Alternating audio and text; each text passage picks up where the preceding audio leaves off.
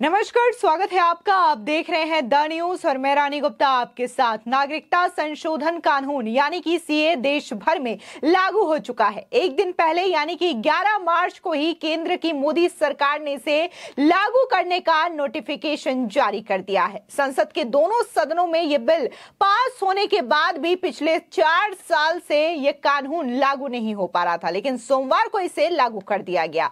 अब सीए लागू होने के बाद देश भर में मिली जुली प्रतिक्रियाएँ सामने आ रही है। संगठन इसे ऐतिहासिक फैसला बता रहा है तो कुछ ऐसे भी लोग हैं जो कि विपक्षी पार्टियों से जुड़े हुए, वो इसे कानून के खिलाफ बता रहे हैं और इसके खिलाफ न सिर्फ़ बयानबाजी की जा रही है, बल्कि कुछ ऐसे भी जगह है, खासकर असम, वहाँ पर इसके खिलाफ विरोध प्रदर्शन भी देखने को मिल रहा है। ऐसे में देश भर में इस वक्त पुलिस जो है, वो हाई अलर्ट पर है। फिर चाहे हम दिल्ली की बात करें, असम की बात करें, उत्तर प्रदेश की बात करें, ये ऐसे इलाके हैं जहाँ पर संवेदनशील इलाकों में फ्लैग मार्च किया गया है। पुलिस लगातार गश्त कर रही है और बेहद सलीखे से निपटने की कोशिश कर रही है। ऐसे में बात अगर हम असम की करें तो असम में बकायदा न सिर्फ़ सीएम के द्वारा ये अल्टीमेटम दिया गया है कि जो संगठन इसके खिलाफ प्रदर्शन करेंगे, उनके खिलाफ एक्शन होगा, बल्कि असम की पुलिस ने भी ये ऐलान कर दिया है कि जो भी लोग सरकारी संपत्ति संपत्ति या फिर निजी संपत्ति को नुकसान पहुंचाएँगे। सीए के खिलाफ प्रदर्शन के नाम पर उनके और इनसे जिम्मेदार और जुड़े हुए संगठनों से ही इसका पैसा वसूल किया जाएगा। तो भाई, दूसरी ओर आपको बता दें कि उत्तर प्रदेश के डीजीपी प्रशांत कुमार ने पहले से ही कहा था कि हमें इस बात का अंदेशा था कि सीए को लागू किया जाएगा और इसको लेकर के पहले से ही हमने अपनी पूरी तैयारी कर रखी है। हमारे पास डेटा भी है और डंडा भी है। इसी के साथ ही बात अगर हम दिल्ली की करें तो दिल्ली भी बेहद संवेदनशील एरिया रहा है, क्योंकि 2020 में देखने को मिला था कि दिल्ली में किस कदर दंगे हुए थे। ऐसे में दिल्ली में भी लगातार पुलिस हाई अलर्ट में है और यहाँ पर भी कई सारे ऐसे इलाके हैं, फिर चाहे वो शाहीन बाग हो, सीलमपुर हो, ऐसे एरियाज़ पर भी पुलिस की पैनी नज़र बनी हुई है। बता दें कि उत्तर प्रदेश में सीए लागू होने के साथ ही यूपी के डीजीपी प्रशांत कुमार ने पूरी पुलिस प्रशासन को अलर्ट मोड पर रखने का निर्देश दिया है। उन्होंने सभी अफसरों को भ्रमणशील गतिशील रहने के निर्देश दिए हैं। वहीं डीजीपी के आदेश के बाद लखनऊ के अमीनाबाद में पुलिस की गश्ती और भी ज़्यादा तेज हो गई है। बता दें कि इससे पहले यूपी के डीजीपी ने यह कहा था कि हम पूरी तरीके से तैयार है। हमने पहले से ही डेटा के साथ साथ डंडा भी तैयार कर रखा है। राज्य में किसी भी तरीके से कानून व्यवस्था को बिगड़ने नहीं दिया जाएगा। और अब इसी के साथ ही उन्होंने एक और बयान जारी किया है, जहाँ पर उनका यह कहना है कि संवेदनशील इलाकों में फ़ूड पेट्रोलिंग, सीसीटीवी कैमरे कैमरे, ड्रोन आदि से निगरानी की जा रही है। इसी के साथ ही सबको समझाने का निर्देश दिया गया है। साथ ही कई सारे ऐसे संगठन हैं, व्यक्ति है जिनसे लगातार टच है और ये कोशिश की जा रही है कि इस तरीके से माहौल न बिगड़े और लोगों को बकायदा इसके बारे में जानकारी दी जाए। वहीं सोशल मीडिया पर भी भड़काऊ पोस्ट और आपत्तिजनक पोस्ट पर भी कार्रवाई के निर्देश दिए जा रहे हैं। एक बार सुनिए कि उत्तर प्रदेश के डीजीपी प्रशांत कुमार क्या कह रहे हैं। तो सी का कानून जल्द ही लागू होगा। इसके बारे में पूर्व से भी सूचना थी और हम लोगों ने इस संबंध में पूरी तैयारियाँ कर ली थी। हमारे पास जो पुलिस बल है, इसके अतिरिक्त भी केंद्रीय पुलिस बल भी हमें मिला है। उसको लेके हम लोग तैयारियाँ कर रहे हैं। सी के जो रूल्स नोटिफाई किए गए हैं, उसके उसके लिए मुझे आपको अवगत कराना है कि ये एक इनेबलिंग प्रोविज़न है। इसमें ऐसे व्यक्तियों को नागरिकता दी जाने की बात है जो कि अन्य देशों से कुछ पड़ोसी देशों से जो लोग यहाँ धार्मिक उत्पीड़न के कारण यहाँ आए हैं इसमें किसी भी भारतीय नागरिक के नागरिकता जाने की बात नहीं है।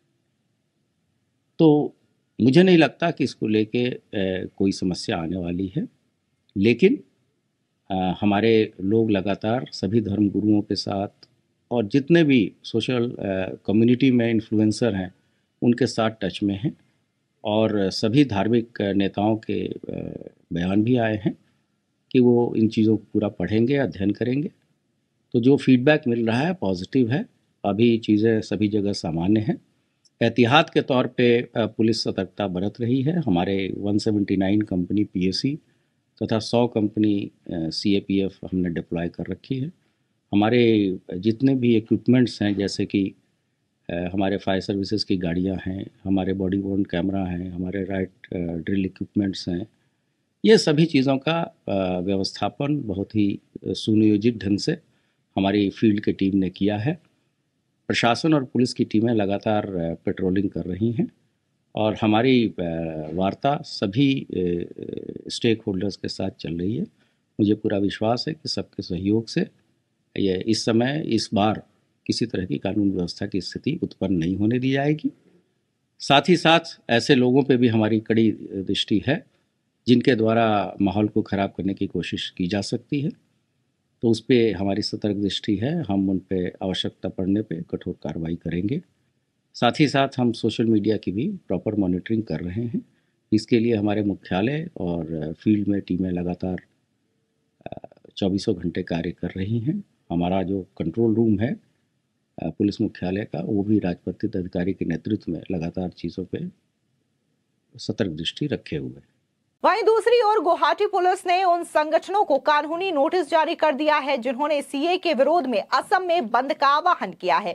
गुवाहाटी पुलिस ने कहा है कि रेलवे और राष्ट्रीय राजमार्ग संपत्तियों सहित सार्वजनिक निजी संपत्ति को कोई नुकसान पहुँचाने या किसी भी नागरिक को चोट लगने पर भारतीय दंड संहिता, यानी कि आईपीसी और सार्वजनिक संपत्ति क्षति निवारण अधिनियम सहित कानून के उचित प्रावधानों के तहत कानूनी कार्रवाई की जाएगी। इसके अलावा सार्वजनिक और निजी संपत्तियों को नुकसान की कुल लागत आपसे और आपके संगठन से ही वसूल की जाएगी। यानी कि जिन संगठनों के द्वारा यह प्रदर्शन किया जाएगा, विरोध किया जाएगा, और अगर इस प्रदर्शन में किसी को नुकसान होता है या फिर निजी और सरकारी संपत्ति को नुकसान पहुँचाया जाता है तो इसकी वसूली भी जिम्मेदार संगठन से ही वसूली जाएगी। वहीं दूसरी ओर असम के मुख्यमंत्री हिमंता विश्व शर्मा ने भी सीए का विरोध करने वालों को सुप्रीम कोर्ट जाने की सलाह दी है। उन्होंने कहा है कि सड़कों पर विरोध प्रदर्शन करने से कोई हल नहीं निकलेगा। सीए पर कानून पहले से ही संसद में पारित हो चुका है। उन्होंने ये भी चेतावनी दी है कि यदि राजनीतिक दल बंद का आह्वान करते हैं तो उनका रजिस्ट्रेशन रद्द किया जा सकता है। बता दें कि असम के सोनितपुर ज़िले में कानून व्यवस्था से जुड़ी संवेदनशील स्थिति को देखते हुए धारा 144 लागू कर दी गई है। पुलिस को संदेह है कि यहाँ शांति व्यवस्था बिगड़ सकती है। पुलिस का कहना है कि असम असामाजिक तत्व ज़िले की शांति में बाधा डालने की कोशिश कर सकते हैं। बता दें कि ऑल असम स्टूडेंट्स यूनियन और 30 अन्य संगठन आज असम के अलग अलग जिलों में सीए की प्रतियाँ जलाएँगे। इससे पहले सोमवार को भी गुवाहाटी, बारपेटा, लखीमपुर, नलबाड़ी, डिब्रूगढ़ और तेजपुर सहित राज्य के कई हिस्सों में प्रदर्शनकारियों ने सीए की प्रतियाँ जलाई थी।